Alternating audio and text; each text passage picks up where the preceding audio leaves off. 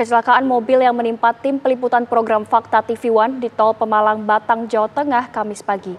Tiga orang kru TV One meninggal dunia, dua orang kru lainnya terluka. Dan berikut adalah kronologi yang disampaikan pihak kepolisian.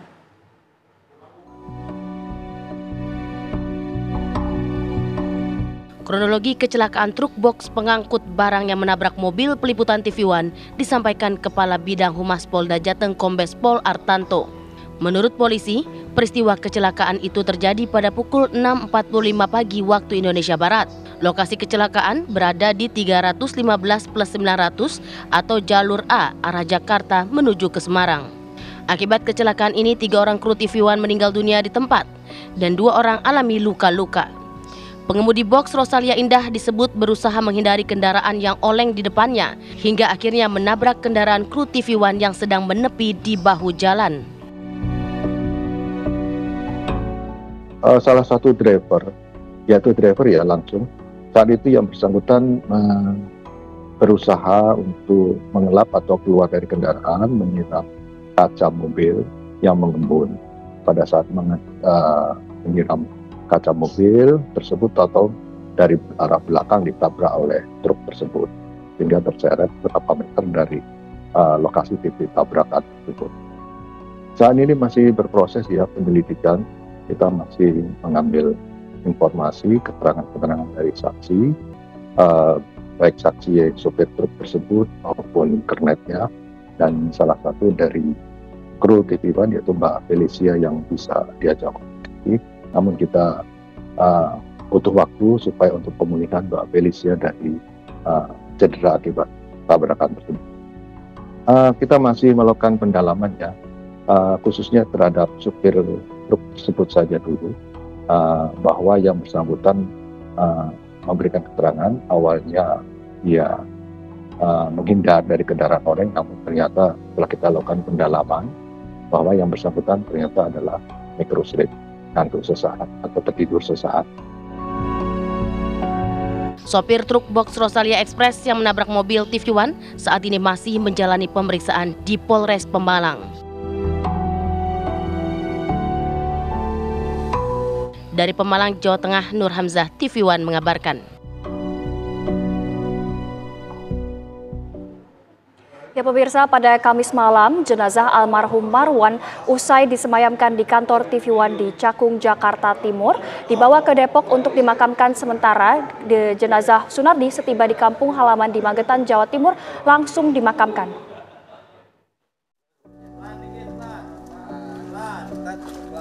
Kedatangan jenazah almarhum Marwan di rumah duka di perumahan Permata Cimanggis, Tapos, Depok, Jawa Barat disambut isak tangis keluarga.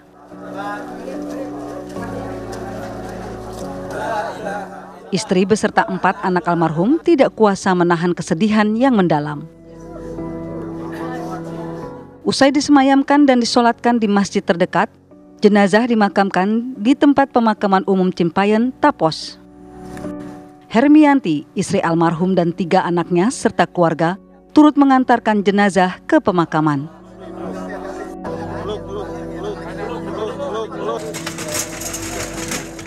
Sementara itu jenazah almarhum Sunardi, kru jurnalis TV One tiba di rumah duka di Magetan, Jawa Timur. Kedatangan jenazah disambut tangis histeris keluarga. Bahkan sang kakak dari istri almarhum ini terpaksa dibopong saudaranya masuk ke dalam rumah. Usai disemayamkan, keluarga dan pelayat mengantarkan jenazah almarhum Sunardi ke masjid untuk disolatkan lalu dimakamkan di tempat pemakaman umum desa setempat. Almarhum Sunardi meninggalkan seorang istri dan tiga orang putri. Di mata keluarga, almarhum adalah sosok kepala keluarga yang bertanggung jawab, sangat sayang dan perhatian kepada keluarga. Seperti diketahui, almarhum Sunardi mendapat tugas mengantarkan empat tim jurnalis TV One untuk melakukan peliputan ke wilayah Kabupaten Gresik, Jawa Timur.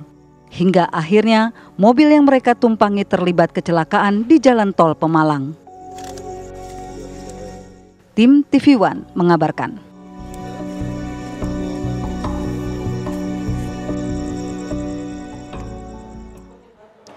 Innalillahi wa innalillahi rojiun. Pemirsa, usai disemayamkan di kantor TV One di Pulau Gadung, Cakung, Jakarta Timur, jenazah almarhum Marwan tiba di rumah duka.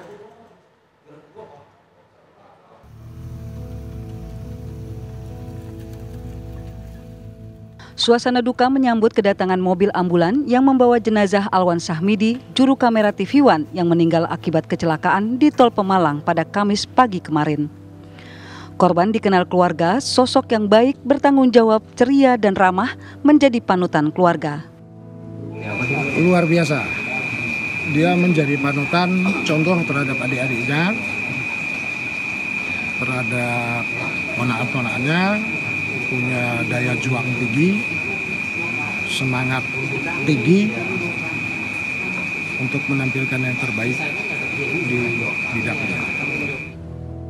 Jumat subuh, keluarga beserta pelayat melaksanakan sholat jenazah di Masjid Al-Maunah. Usai disolatkan, jenazah akan dibawa ke kawasan Joglo, Kembangan, Jakarta Barat untuk disemayamkan dan akan dimakamkan setelah sholat Jumat. Alwan merupakan satu dari dua juru kamera TV One yang menjadi korban kecelakaan di Tol Pemalang. Saat itu, tim TV One yang terdiri dari Gegi, produser program Fakta, Felicia, reporter, almarhum Alwan dan almarhum Marwan, serta Sunardi, pengemudi mobil, dalam perjalanan ke Gresik untuk melakukan tugas yang diberikan pimpinan. Dari Bekasi, Jawa Barat, Suryo Daryono, TV One mengabarkan.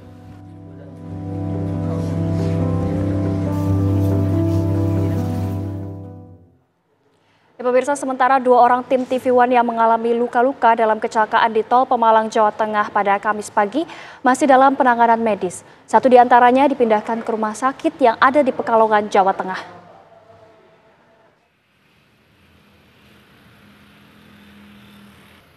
Kecelakaan yang menimpa kru TV One di kilometer 315 Tol Pemalang, Jawa Tengah, selain menyebabkan tiga orang meninggal dunia, dua kru jurnalis TV One Felicia Amelinda dan Gegi Yudhistira harus mendapat perawatan intensif setelah mengalami luka-luka. Felicia dalam kondisi stabil dan masih dirawat di Rumah Sakit Al-Ikhlas Pemalang. Ia pun masih dapat berkomunikasi dan menceritakan kronologis peristiwa kecelakaan tersebut. Sementara Gegi Yudhistira harus menjalani pemeriksaan CT scan karena sempat alami penurunan kesadaran. Gegi pun harus dipindahkan ke Rumah Sakit Umum Budi Rahayu Pekalongan untuk perawatan lanjutan yang lebih intensif. Kecelakaan yang menimpa kru TV One meninggalkan duka mendalam. Keluarga besar TV One harus kehilangan tiga kru, yakni dua juru kamera TV One Marwan dan Alwan, serta Sunardi pengemudi. Kasus kecelakaan ini ditangani Satlantas Polres Pemalang.